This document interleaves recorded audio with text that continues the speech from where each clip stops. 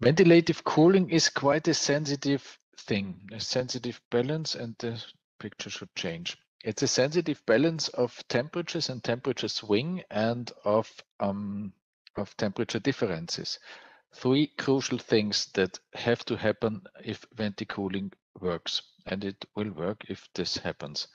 The room has to be allowed a significant day and night swing in temperature. So only rooms which you allow to get warmer during the day and to get cooler during the night are uh, good partners in ventilative cooling. No strict temperature level will support you in ventilative cooling. Second thing, the room has to be equipped with um, thermally active materials, so with storage components which thermally store heat and release heat.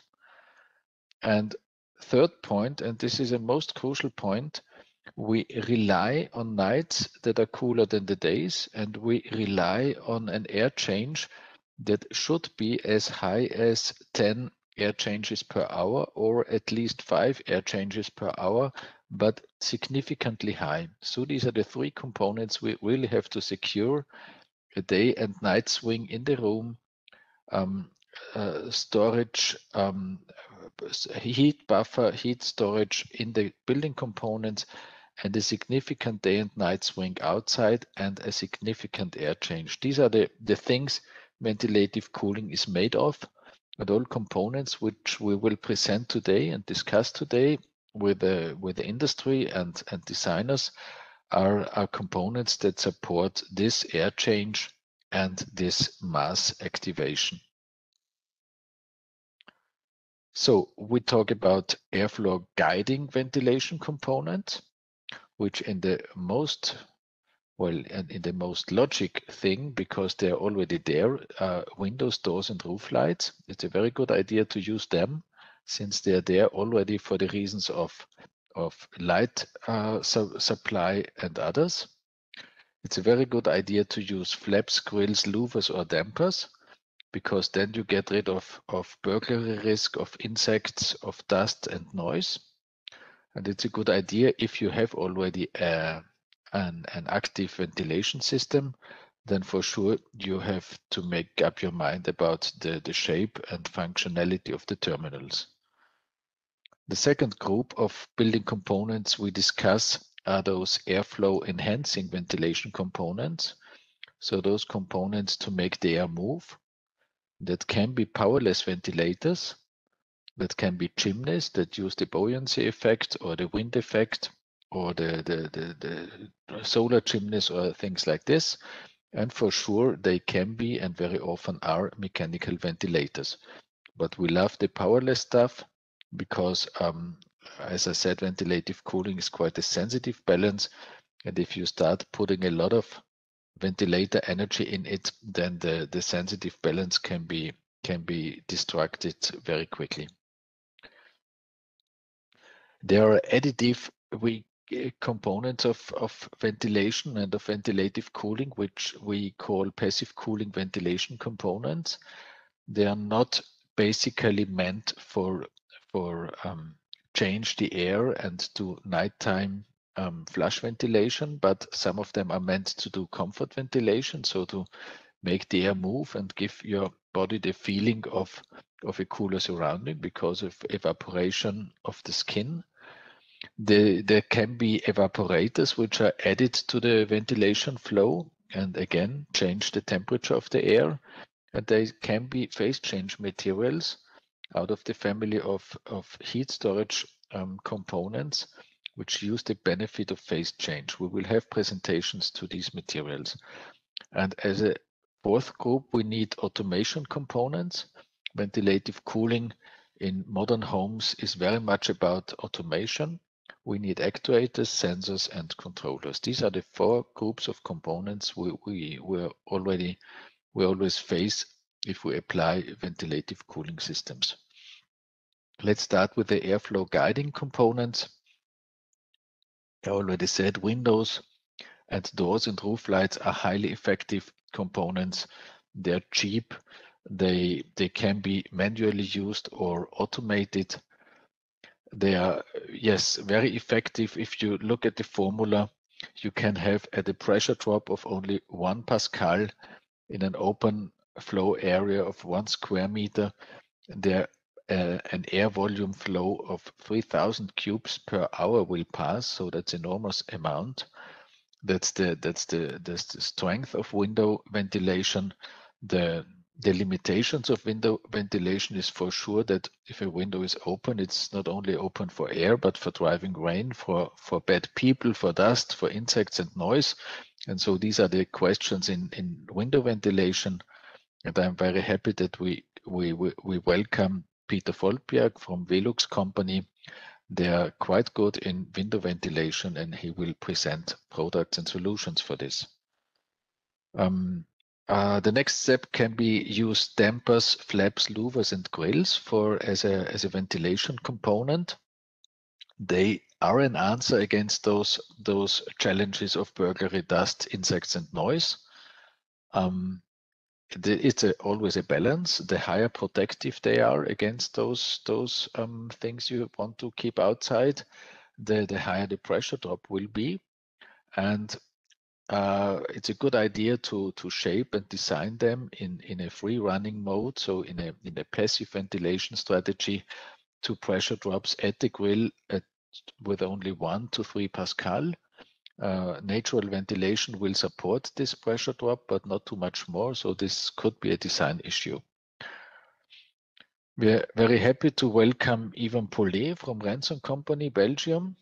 It's a company that has a, a, a very smart and good uh, collection of, of grills and louvers and, and ventilative openings.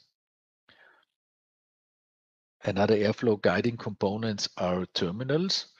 The passive ones like window ventilators.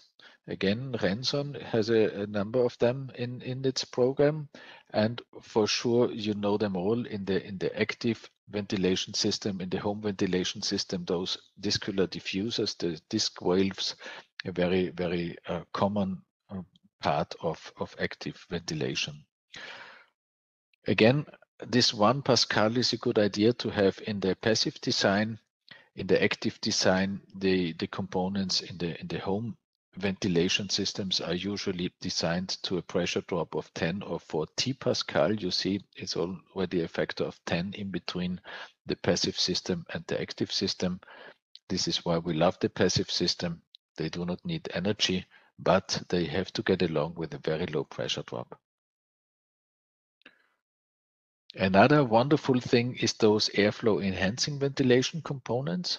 So passive stuff that that that causes a pressure drop driven by wind or by temperature differences. A wonderful thing is those Venturi vents non-rotating devices, quite robust, using the Venturi effect of, of a negative pressure drop as soon as the wind blows. They, they start working at a wind speed of, of two and something meter per second and already can support a pressure drop of four Pascal, which we already learned is a, is a sound level for, for, for ventilative cooling. They can get up to 60 Pascal if the wind really starts blowing. Um, we love the uh, chimneys who, who use the buoyancy driving force, but it's very low. So uh, a chimney is is a good thing to have. It does not depend on wind. Uh, it it can work with uh, temperature differences, but the the, the delta P caused by temperature differences, you see it in this formula, and you can play around with this formula, and the result will be one or two Pascal if you're lucky and if the chimney is high. We will welcome Nick Hopper from Monodraft Company from the UK. They have a lot of very smart products in the field of airflow enhancing ventilation components. Some of the photos are already from them. Sure, there are millions of different forms of mechanical ventilators. They try to be efficient, they are efficient, and still they need electricity. And still, with using electricity, they will raise the temperature of the air which they transport. So it's a good idea to have them as extract ventilators in ventilative cooling and not as, as um, inlet flow ventilators because the the, the, the, the energy of the ventilator will al already easily rise the temperature of the air, which he trans it transports by one Kelvin. That's in that, that's easily done, and and we not only work with low pressure drops in ventilative cooling, we also work with low temperature differences. So be careful with the with the influence of ventilators to the temperature of the air they transport. One thing is still a very good option in ventilative cooling that is make use if you have a if you have a balanced ventilation system with heat recovery then for sure use that um, ability of heat recovery in all situations where it's outside hotter than inside then the the the heat recovery can be a very good component to make sure um, the heat stays out Comfort ventilators are those things who make the air move. And we know that an, an, air movement of roughly um, one meter per second or something lower causes the, the rise of acceptable temperature by roughly 3 K. That comes from the enhanced evaporation of the skin. One meter per second is not more than the speed of walking, so it's not too much. And if you if you supply this with effective um, motors, then then it's a very effective way of not cooling. So it's not physically cooling the room, but it's cooling the body, and that's what we want. Um, we have those uh, passive cooling ventilation components like evaporators and phase change materials evaporators uh, see a high interest in the in the ambient surrounding now. So with a with a uh, dry mist nozzles in in many cities you will see them, and phase change material is a wonderful additive thing, additive to to to simply um, heavy building materials. And we welcome again Nick Hopper. They have with a monodraft company a wonderful product in the field of phase change material ventilation. I come to an end. We use a lot of automation components, actuators, we use a lot of sensors, and we use a lot of controllers. We need those components because people are not always at home and not only waiting for, for actuate their ventilation components on their own, but they're outside and the rain starts and the windows have to close and everything has to happen. And it happens.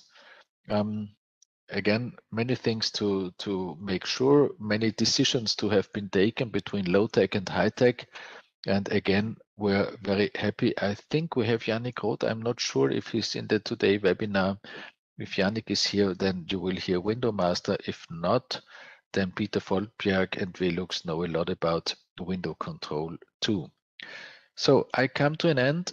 Uh, you're very much welcomed to to visit the websites of the two annexes. In fact, they are presented on the AIVC website. It's the Annex 62, which is um, has been closed or is ready and, and finished. You find a, a fine collection of material on the specific question of ventilative cooling. And in the running annex of Annex 80, it's the next step to the resilient cooling, not mm -hmm. only ventilative, but ventilative too.